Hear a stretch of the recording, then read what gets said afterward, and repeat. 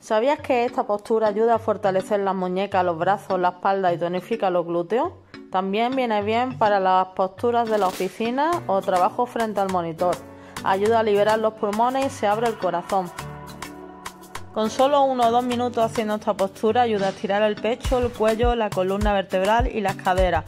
También fortalece la espalda, glúteos y bíceps femorales, mejora la circulación de la sangre y ayuda a aliviar el estrés y la depresión. ¿Sabías que hacer plancha a diario tiene muchos beneficios? Mejora la postura, fortalece los músculos centrales y mejora el equilibrio. Incluso ayuda a aliviar el dolor lumbar y mejora la flexibilidad. Esta postura se llama estiramiento de la mariposa. Este estiramiento se dirige al área de la ingle, aflojando y alargando los músculos internos del muslo, los abductores.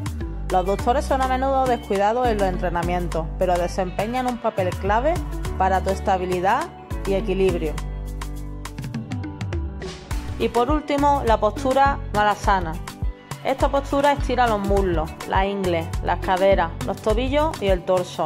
Tonifica los músculos abdominales y mejora la función del colon para ayudar a reducir el estreñimiento.